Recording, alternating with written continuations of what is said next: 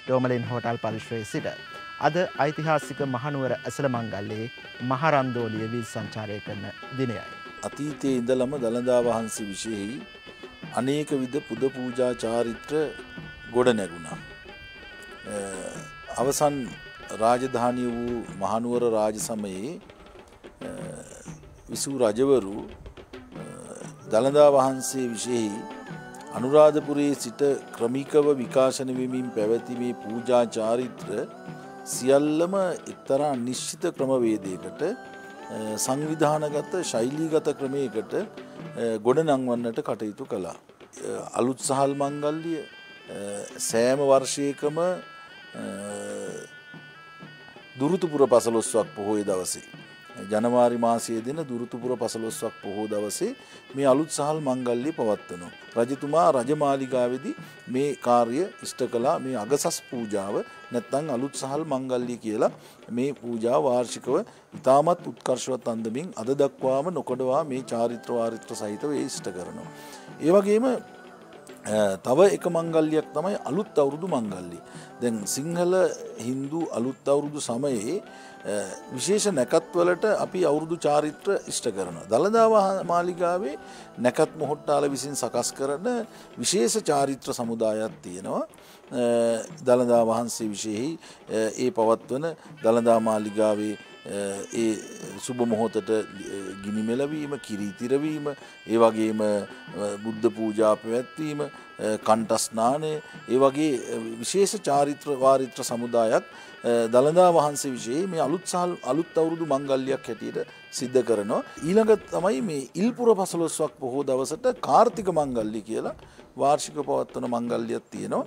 මේකෙන් අදහස් කරන්නේ මේ අර අලුත් සහල් බෙදා දුන්න වගේ දළදා මාලිගාව සතර දේවාල ඒ වගේම අස්කිරිමල්වත උබේ විහාර සහිත මේ අනිකුත් ප්‍රාදේශීය විහාරස්ථාන සහ දේවාල හැත්ත දෙකක් පමණ තියෙනවා රජතුමාගේ ඒ අනසක යටතේ පැවති.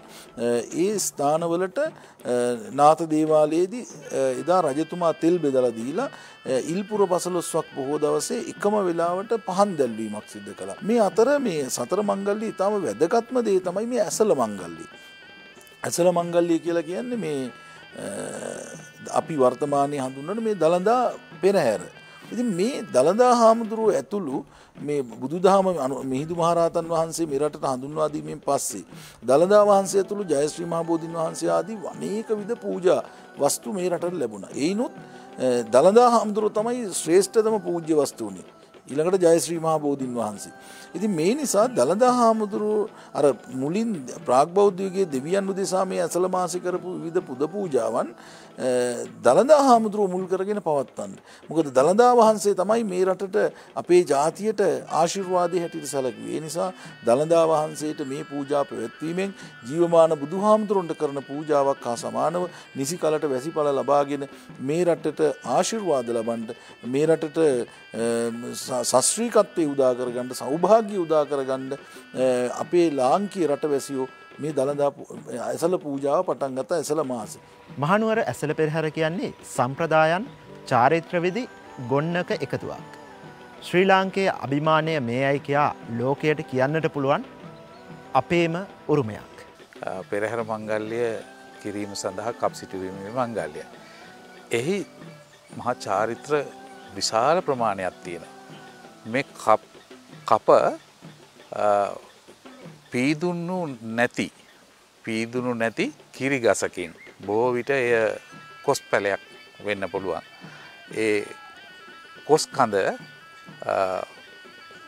කපාගෙන ඒ හතරමයිමේ යම්කිසි සීමාවත් තුළ ඒ කාලයේ ඇතුළදී කිල්ලකට අහු නොවෙන ලෙස එය ආරක්ෂා කරගන්න.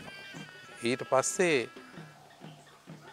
ඇතකුපිට අලුත්නුවර දේවාලයේ සිට කඩුගන්නාව හරහා ඔය මහනුවරට එන මාර්ගය ප්‍රධාන මාර්ගය ඔස්සේ ඒ කප දර්ශනීය පෙරහැරකින් විශ්ණු දේවාලයට වැඩමුවලා විශ්ණු දේවාලයේ කපු මහතා විසින් ඒ සතර දේවාලයන්ට අයිති කොටස් කපාවෙන් කොට විශ්ණු දේවාලයේ සිට සතර දේවාලය අනිත් දේවාල තුනට පෙරහැරකින් ඒ අප වැඩමුවලා කප්සිටුවීමට නියමිතව නැකතට කප්සිටුවීමේ පළවෙනි චාරිත්‍රය. ඒ චාරිත්‍රය ඉටු කරයින් පස්සේ ඉඳම්ම. එදින සවස ඉඳම්ම ඇතුල් පෙරහැර පටන් ගන්නවා. හතර දේවාලයේ ඇතුළත ඇතුල් පෙරහැර.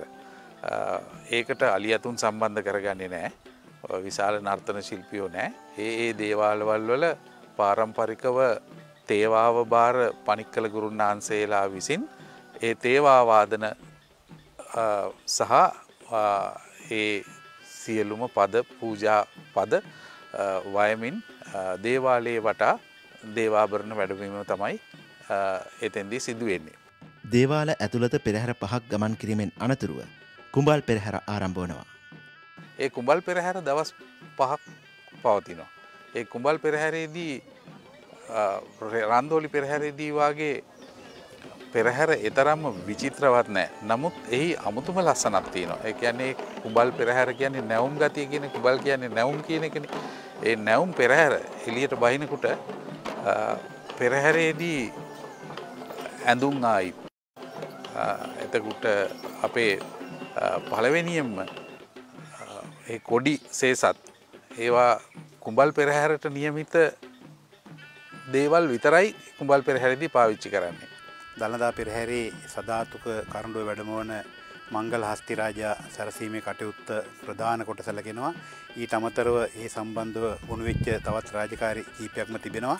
විශේෂම දේ තමයි මංගල හස්තිරාජා සැරසීම ඉතාමත්ම හැම දෙනාගේ මවධානය යොමු වෙන තැනත් තමයි මංගල හස්තිරාජයාගේ ඒ ඇඳුම් කට්ටලේ ඒ ආම්පන්න එනිසා ඒ කටයුත්ත කෙරෙන් ඉතාමත්ම කැපවීම භක්තියෙන් අපි සිදු කරනු ලබනවා. දළදා මැදුර තුළ පෙරහැර ආරම්භයට මත්තෙන් ඔබ නොදකින අප නොදකින චාරිත්‍ර විදි රැසක් දළදා වහන්සේ වෙනුවෙන් පෙරහැර කරඩු වහන්සේ වෙනුවෙන් සිද්ධ වෙනවා.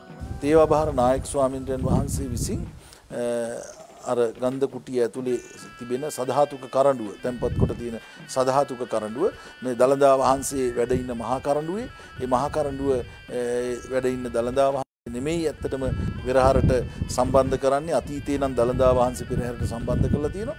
මෑතක සර්වඥ ධාතුන් වහන්සේලා තැන්පත් පෙරහැර කරඬුව තමයි මේ පෙරහැරට සම්බන්ධ කරන්නේ වැඩමවන්නේ.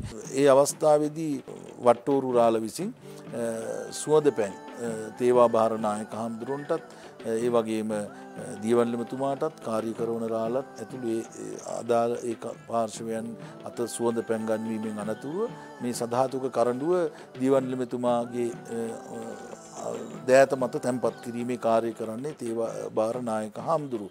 ඉතින් ඊට පෙරාතුව මේ වට්ටෝරු රාල සහ කාරි කරවන රාල දෙන්න ඒ දියවන්ලමතුමාගේ අතමත මේ කරඩුව තැන්පත් කරන්න ඇතිරිල්ල එලන චාරිත්‍රයක් තියෙනවා ඒ දෙන්න තමයි ඒ කාරී කරන්නේ.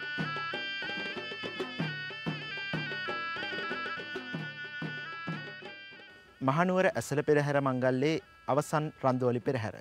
මහරන්දෝලිය. අද රාත්‍රී දහයයි දහයේ සිට ස්වර්ණවාහිනී තිරය ඔස්සේ ඔබට නරඹන්නට පුළුවන්. ආරාධනා කරමින් ඔබට ස්වර්ණවාහිනිය ඔස්සේ පෙරහැරේ අසිරිය විඳින්නට මා ඔබෙන් සමුගන්නවා මහනුවර ටොපෑස් ටෝමලින් හෝටල් සංකීර්ණය සිට. ස්වර්ණවාහිනී